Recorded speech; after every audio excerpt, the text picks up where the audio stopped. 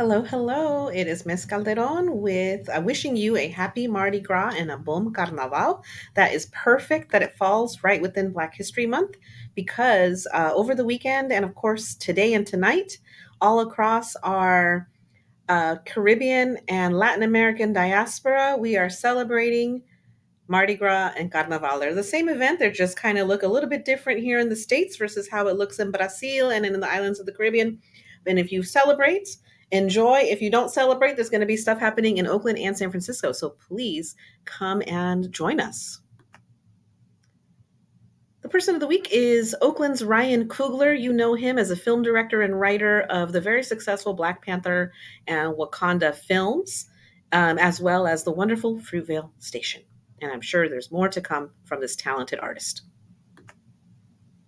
Are reminders. I want to make a public thank you to our school spotlight superstars, Kylie, Damien, Ashvin, and Alexis, for being so wonderful in last week's wonderful school spotlights that you can check out on our YouTube channel.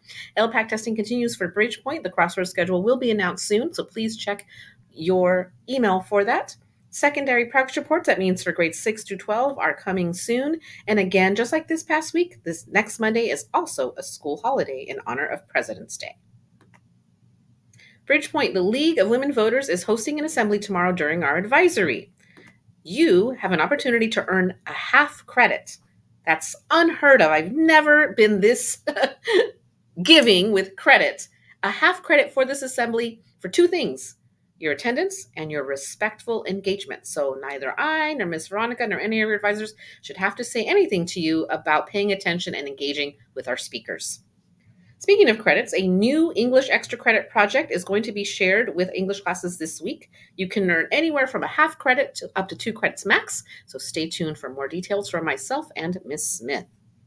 And uh, if you are 18 or over, the spring session for Newark Adult Education is starting on the 20th. Um, through May 17th, and they'll be joining us at our graduation this year. We're going to have one big alternative education graduation. So if you'd like to be part of that with Newark Adult Education, please register at 818-3702 or by calling Ms. Perez at, uh, emailing Ms. Perez at eperez at newarkunified.org.